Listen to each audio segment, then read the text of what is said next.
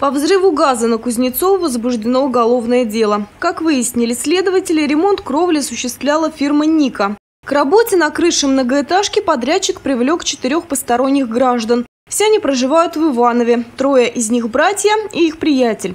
Работали мужчины на объекте нелегально, без допуска и какого-либо инструктажа. Во время работы произошел взрыв газовых баллонов. Все четверо серьезно пострадали. Возбуждено следственным отделом э, по Фрунзенскому району сегодня э, возбуждено уголовное дело по признаку преступления, присутствующего частью 1 статьи 216, то есть нарушение правил производства строительных работ, повлекшие тяжкий вред здоровью.